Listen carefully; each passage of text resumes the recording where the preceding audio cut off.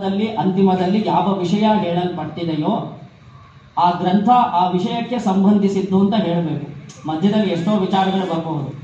ಅದೇನಾದ್ರು ಮಾತಾಡಬೇಕಾದ್ರೂ ಕೂಡ ಮೊದಲು ಕಂಟೆಂಟ್ ಏನು ಅನ್ನೋದು ನಾವು ಮೊದಲನೇ ಹೇಳ್ಬಿಡ್ತೀವಿ ಇಲ್ಲ, ಕಡೆಯಲ್ಲಿ ಅದನ್ನ ಮುಗಿಸ್, ಮುಕ್ತಾಯ ಮಾಡಬೇಕಾದ್ರೆ ಅದೇ ವಿಷಯದಲ್ಲಿ ನಿಲ್ಲಿಸ್ತೀವಿ.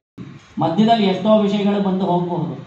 ಅದು ಆರಂಭದಲ್ಲಿ ವಿಶ್ವಾಯ ನಮಃ. ಅದು ನರಸಿಂಹದೇವರನ್ನ ಹೇಳುತ್ತೆ. ಕಡೆಯಲ್ಲಿ ಬರೋದು ಸರ್ವ ಹಾಗೆ ನಮಃ.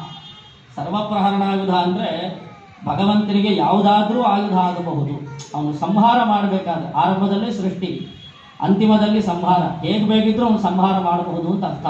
ಇಲ್ಲಿ ಅಸ್ತ್ರವಲ್ಲದ ಶಸ್ತ್ರವಲ್ಲದ ಬರೀ ನಖ ಮಾತ್ರದಿಂದಲೇ ಕಿರಣ್ಯನ ಕರಳನ್ನ ಬಗೆದು ಸಂಹಾರ ಮಾಡಿದ್ರಿಂದ ನಖವೇ ಆಯುಧವಾಗಿದ್ದು ನರಸಿಂಹನಿಗೆ. ಅದು ಸರ್ವಪ್ರಹರಣಾಯುಧ ಇದು ಶಂಕರ ಭಾಷೆಯಲ್ಲಿ ಸ್ಪಷ್ಟವಾಗಿ ಹೇಳ್ತಾರೆ. ಆರಂಭದಲ್ಲಿ ವಿಶ್ವಾಯ ನಮಃ, ಅಂತಿಮದಲ್ಲಿ ಸರ್ವಪ್ರಹರಣಾಯುಧಾಯ ನಮಃ. ಸೃಷ್ಟಿ ಮತ್ತು ಲಯ. ಇದೆರಡು ನರಸಿಂಹದೇವರಿಗೆ ಸಂಬಂಧಿಸಿದ್ದು. ಎಂದು ಆದಿಶಂಕರಾಚಾರ್ಯರು ಬಹಳ ವಿಶೇಷವಾಗಿ ಅವರ ವ್ಯಾಖ್ಯಾನದಲ್ಲಿ ತೋರಿಸ್ತಾರೆ. ಆದ್ದರಿಂದ ಸಾಕ್ಷಾತ್ ಕೃಷ್ಣ ಪರಮಾತ್ಮ, ಇದು ನರಸಿಂಹರ ಚರಿತ್ರೆ. ನರಸಿಂಹನ ಹಿರಿಮೆ ಎಂದು ಶ್ರವಣ ಮಾಡದಂತಹ ವಿಷ್ಣು ಸಹಸ್ರನಾಮವನ್ನು ನಾಮಾವಳಿ ರೂಪದಲ್ಲಿ ನಾವು ಅನುಸಂಧಾನ ಮಾಡಿದೆವು. ನೀವು ಇದನ್ನೆಲ್ಲ ಕೇಳಿದ್ದೀರಿ. ಸಾಕ್ಷಾತ್ ಕೃಷ್ಣನೇ